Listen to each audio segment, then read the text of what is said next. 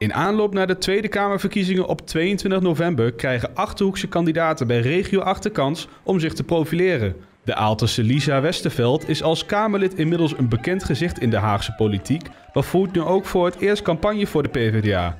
Niet in het rood of het groen, maar in een roze jas sprak ze de kiezers aan op het station in Vorden. Wat ik hier merk is dat iedereen er gewoon zin in heeft. En dat merk je ook wel dat dat toch wat doet, die samenwerking tussen GroenLinks en Partij voor de Arbeid. Maar ook omdat we gewoon weten dat, dat stemmen doet ertoe.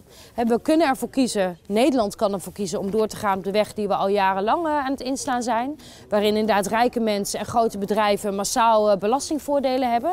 Maar wat ik ook nu tegen mensen zeg is, je kan ook de keuze maken om die andere kant op te gaan. Dat betekent geld investeren in de zorg, in cultuur, in dorpsscholen en in bussen en treinen.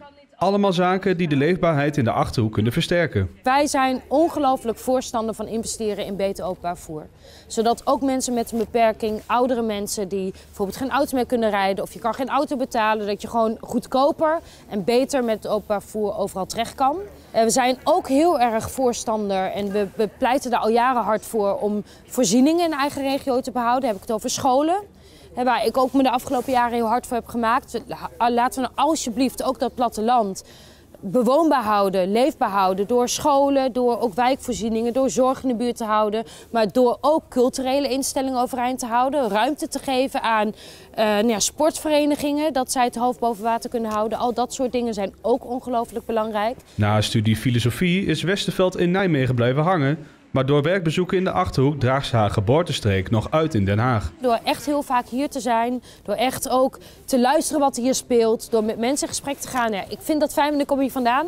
Maar ik heb daar ook ongelooflijk veel aan in mijn werk in de Tweede Kamer. Hoewel Westerveld geen uitgesproken voorstander was van de samenwerking met de PvdA, ziet ze haar vijfde plek op de kieslijst als een mooi compliment van de partij. Vorige keren stond ik iedere keer op zo'n plekje waarbij het onzeker was of je het wel of niet zou halen. Um, en nu moet er wel iets grandioos misgaan als ik niet in de, in de Kamer kom, laat ik het zo zeggen. Um, maar het laat ook wel zien dat mensen van GroenLinks en de Partij voor de Arbeid gewoon de onderwerpen waar ik mee bezig ben belangrijk vinden. de onderwerpen als jeugdzorg, GGZ, gehandicaptenbeleid en daar ben ik onderwijs, daar ben ik echt heel blij mee.